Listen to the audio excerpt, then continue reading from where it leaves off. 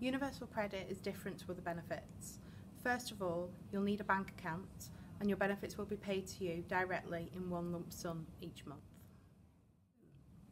Your rent isn't paid for you, you have to pay it yourself. The easiest way to do this is by setting up a direct debit. The whole claim is done online, so you will need access to the internet. You'll need photographic proof of your identity. This can be a driver's licence or a passport.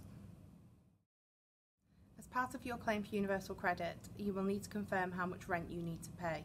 Without this, you won't receive any help towards your housing costs. You'll need to complete an online journal to show that you are actively seeking work. If you do not do this, your benefits may be stopped. Universal credit means a lot of changes, but don't worry, relax, we've got you covered.